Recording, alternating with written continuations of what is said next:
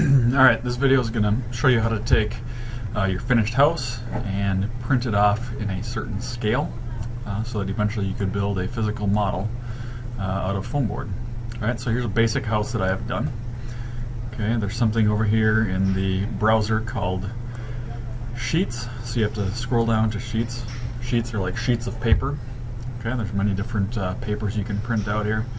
Uh, the one that I'm interested in right now is the first floor plan, A1. So I'm going to open that. You can see we've already got a title block and border um, set up um, for you. So I'm going to scroll back up to the first floor itself, first floor plan, and I'm going to drag and I'm going to drop that picture right in there. Center that as best you can. Okay, and the last thing you got to do is change its view scale. So I've got the view selected and I'm going to switch this to be, in our case we're going to use half scale for our models. So a half inch equals one foot, select that, and hopefully it still fits. If it doesn't, you got to go to a smaller scale, like quarter scale. So there's that one. Okay, so that's good to go. Uh, I'm going to go back down to sheets, and I'm going to print each of the elevations. So I'm going to open up the elevation sheet right here. Again, elevation is a side view, two-dimensional side view, so I'm going to drag the east elevation and drop it in here. Right there, and again, increase that up to half scale.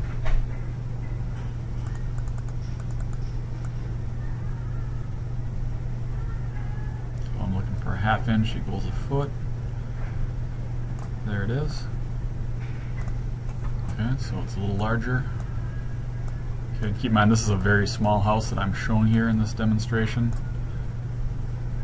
So a larger house, we might have a hard time getting that to fit in there. I'm going to try and get two of them all in one space here.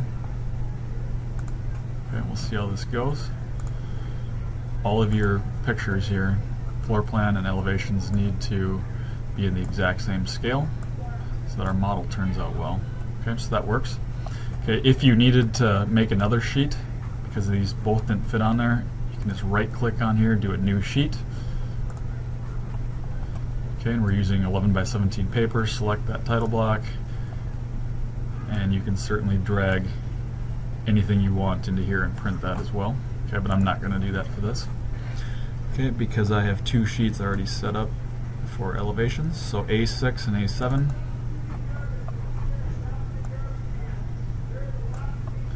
So here comes the south. Half scale. Drag that again to get it to fit. And finally the west elevation.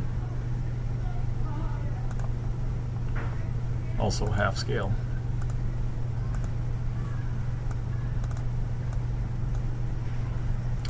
right there. Okay, I'm not worried about these lines here. These are just going to be guides for me to be able to cut out my foam board. Okay. All right, and now for finally printing it, I'm to go to the big R up here. We'll go to print. Okay, I'm going to be printing uh, to our color printer in our 202 lab right there. So there's my printer. Okay, so select that first. Now we have to pick what, what do we actually want to print. So selected views and sheets.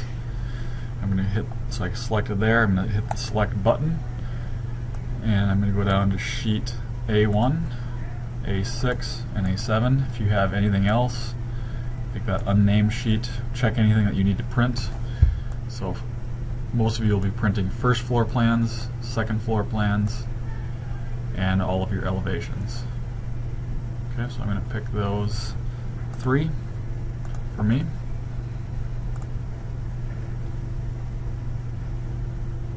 Alright, and I'm going to send those to the printer. Okay, and that should be it. This should come out